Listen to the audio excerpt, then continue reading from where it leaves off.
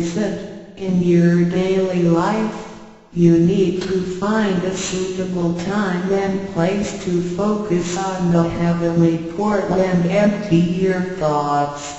Then, the peace and harmony around you will attract good affinities.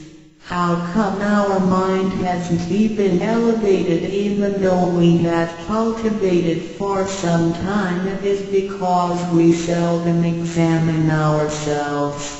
We never introspect ourselves, try to figure out what our needs are, and what the root is. If we think Tao cultivation is merely coming to the temple and listening to the